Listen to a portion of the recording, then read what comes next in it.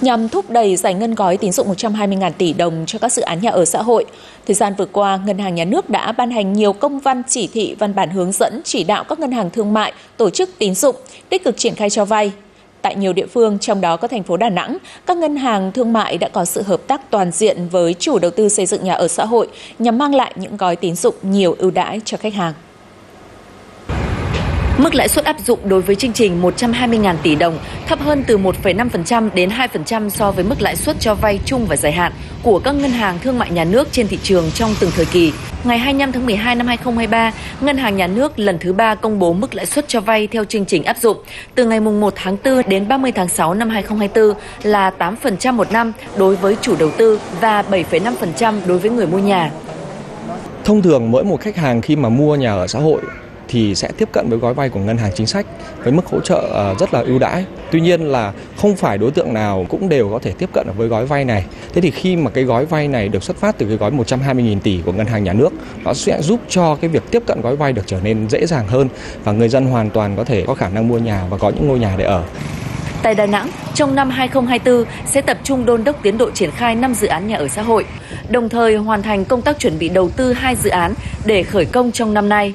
Hiện tại, một số dự án nhà ở xã hội có chất lượng đã có được sự đồng hành của các ngân hàng thương mại. Trong đó nổi bật là sự kiện ký kết thỏa thuận hợp tác toàn diện trong việc cho vay nguồn vốn tín dụng giữa Công ty Cổ phần Đầu tư Sài Gòn Đà Nẵng SDN và Vietinbank chi nhánh Bắc Đà Nẵng.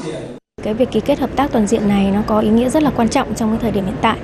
Ờ, nó cũng là đòn bẩy để giúp khách hàng tiếp cận được cái chính sách hỗ trợ từ chính phủ và cũng giúp cho chủ đầu tư góp phần thực hiện cái cái đề án xây dựng một triệu căn nhà xã hội, ờ, giúp cho người mua nhà ờ, có thêm cơ hội để hiện thực hóa giấc mơ an cư.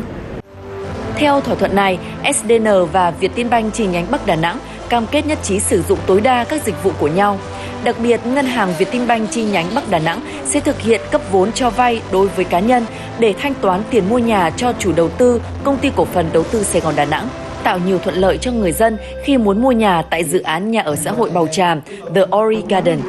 Với một người lao động để mà có một cái căn nhà ở xã hội thì không thể nào mà mình mua liền được nhưng mà thông qua cái chương trình ký kết đó là một cái lợi thế rất là lớn cho những người mà ờ, có một cái thu nhập vừa phải nhưng mà vẫn sở hữu được một cái căn nhà. Tính đến thời điểm hiện tại, chung cư nhà ở xã hội tại khu đô thị xanh Bầu Tràm Lakeside, The Ori Garden được đánh giá là một trong những dự án nhà ở xã hội có quy mô và chất lượng tốt trên địa bàn thành phố Đà Nẵng.